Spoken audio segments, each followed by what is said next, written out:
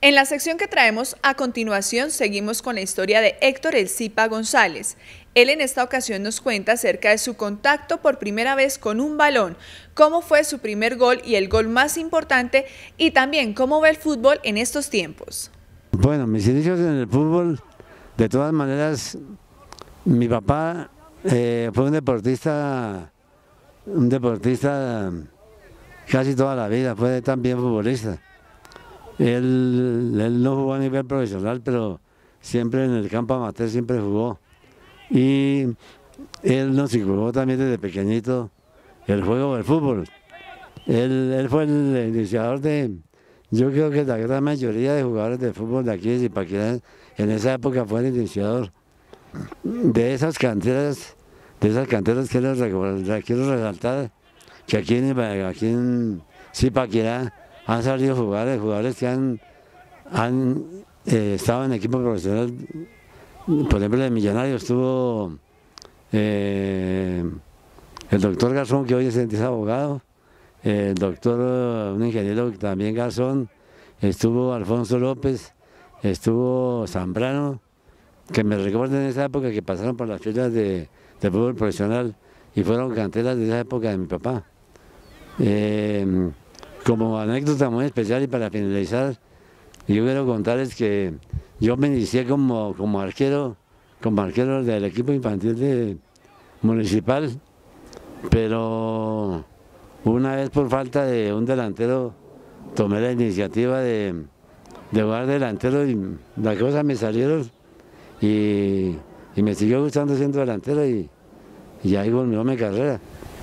Pues en esa época yo admiraba mucho a, admiraba mucho a Antonio Julio La Voz, y un mediocampista. Eh, admiraba mucho a, Germán Antón por ser un, jugador extranjero, gran cabeceador. Admiraba también mucho al Banco Gutiérrez, que era un, delantero en esa época.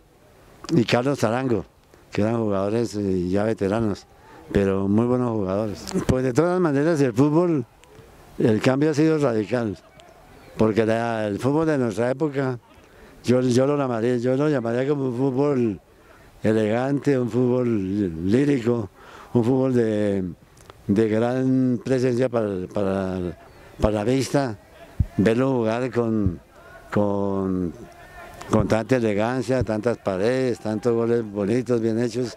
Hoy en día, hoy en día también es un gran fútbol de mucha preparación física, mucha preparación táctica y técnica y, que hoy en día se juega por, más que todo por ciertos valores económicos que eso también compite mucho para ser un jugador profesional muy responsable. Bueno, lo más importante, yo tuve muchos goles importantes, pero el más importante que me marcó de por vida fue el empate que hicimos en Lima con, con San Perú para poder clasificar Colombia.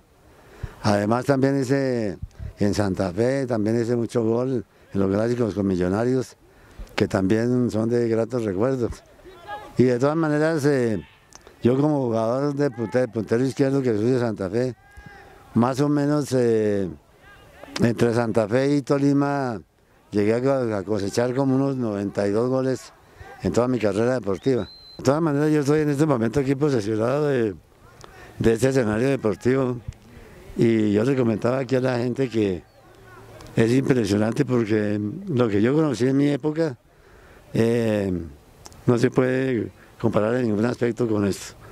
Esto es un estadio muy lindo, una gran gramilla, una tribuna muy buena, eh, la parte social aquí de,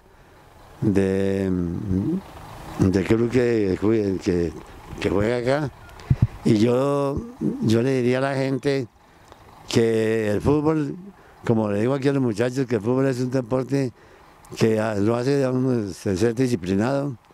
Eh, y eso conlleva a, alejarse de los, de los vicios. En verdad que yo invito a todos los deportistas, a toda la gente del fútbol, a que conozcan su estadio, porque tiene una pista muy hermosa de atletismo que no se debe desaprovechar. Aquí existieron atletas muy insignes, como Baracaldo y, y Cecilia Navarrete, no estoy equivocado, gente muy competente para eso. Y en esa época no existían pistas, de esto no existía, ni las canchas así como las tenemos nosotros en este momento. De manera que es el momento para que la juventud aproveche el escenario deportivo y que cada día a día por día que vaya creciendo y los alcaldes y la, el Consejo y la ciudadanía velen por cuidarlo.